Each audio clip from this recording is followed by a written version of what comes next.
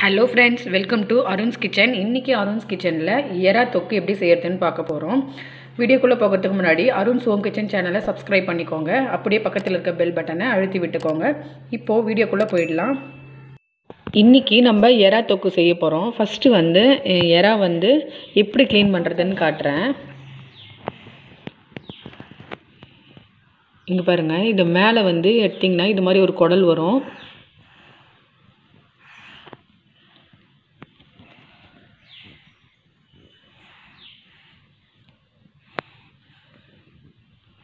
இந்த குடலை கண்டிப்பாக க்ளீன் பண்ணிட்டு தான் செய்யணும். இதோடு போட்டு செய்யக்கூடாது. நிறைய பேருக்கு இந்த விஷயம் தெரியாது. அப்படியே போட்டு க்ளீன் பண்ணாமலே செஞ்சுருவாங்க. கண்டிப்பாக இதை வந்து எடுத்துட்டு செய்யுங்க. ஓகே இப்போ எப்படி செய்கிறதுன்னு பார்த்துடலாம் இப்போ ப்ரான் தொக்கு செய்கிறதுக்கு என்னென்ன தேவையான பொருள் பார்த்துடலாம் ஆனியனும் டொமேட்டோவும் சம அளவு எடுத்துக்கோங்க. நான் ஆனியன் டொமேட்டோ ரெண்டு பச்சை மிளகாய் கருவேப்பிலை இஞ்சி பூண்டு பேஸ்ட்டு இது வந்து வீட்டில் அரைச்ச மிளகாத்தூள் தாளிக்கிறதுக்கு சோம்பு பட்டை லவங்கம் இது வந்து கொஞ்சமாக மஞ்சத்தூள். அவ்வளோதான் இப்போது தாளிச்சிடலாம். ஒரு கடாய் வச்சுட்டு அதில் தேவையான அளவு ஆயில் விட்டுக்கலாம். ஆயில் காஞ்சதும் கடுகு கடுகு போட்ட உடனே சோம்பு பட்டை லவங்கம் நல்லா பொரியட்டும். கடுகு பொரிஞ்சதும் ஆனியன். ஆனியனை நல்லா வதக்கி விட்டுக்கலாம். இது நல்லா ப்ரௌன் கலரில் வரட்டும். இப்போது ஆனியன் வந்து நல்லா வதங்கிடுச்சு. ரொம்ப ப்ரௌனிஷ் கலரில் ஆக வேண்டிய அவசியம் இல்லை. ஆனியன் டொமேட்டோ எல்லாமே நல்லா ஃபைனாக சாப் பண்ணி எடுத்துக்கோங்க.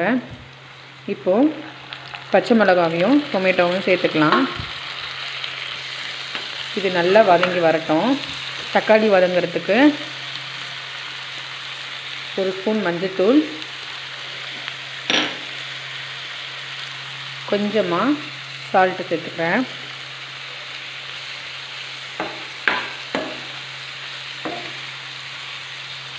இது அப்படியே ஒரு ஃபைவ் மினிட்ஸ் நல்லா வதங்கட்டும். இப்போது தக்காளி ஒரு டூ த்ரீ மினிட்ஸ் நல்லா வதங்கிடுச்சு. இந்த ஸ்டேஜில் நம்ம எடுத்து வச்சுருந்த இஞ்சி பூண்டு பேஸ்ட் சேர்த்துக்கலாம்.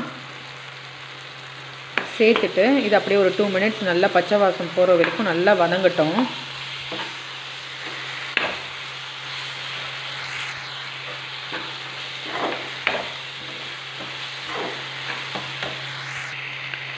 இப்போ பாருங்கள் வெங்காயம் தக்காளி எல்லாமே நல்லா வதங்கிடுச்சு.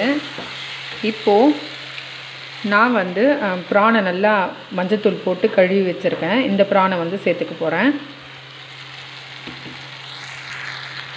அவ்வளோதான் சேர்த்தாச்சு. இதை அப்படியே நல்லா வதக்கி விட்டுருங்க. ப்ரான் வந்துட்டு ரொம்ப நேரம் வேக விடக்கூடாது இல்லை ரப்பர் மாதிரி ஆகிடும் ஒரு டென் மினிட்ஸ் தான் அதுக்கு கரெக்டான டைமு இப்போ நம்ம வந்து எடுத்து வச்சுருந்த மிளகாத்தூள் சேர்த்துக்கலாம். சேர்த்துட்டு இதை நல்லா மிக்ஸ் பண்ணி விட்டுக்கலாம்.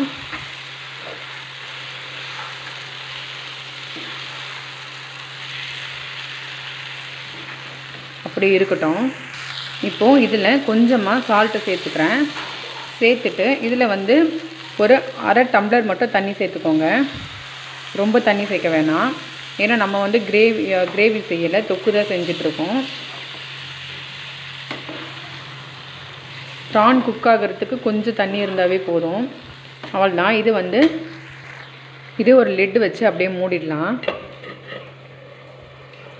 ஒரு டென் மினிட்ஸ் அப்படியே விட்டுருங்க. இப்போது ப்ரானில் எண்ணெய்லாம் வெளியே வர ஆரம்பிச்சிடுச்சு. இது கரெக்டான ஸ்டேஜு. இப்போது லேசாக கொத்தமல்லி தழையை போட்டுட்டு கொஞ்சமாக பெப்பர் தூள் சேர்த்துக்கலாம். அவ்வளோதான் அவ்வளோதான் நம்மளுடைய பிரான் தொக்கு சூப்பராக ரெடி ஆகிடுச்சு இதை அப்படியே சர்வ் பண்ணிக்கலாம்.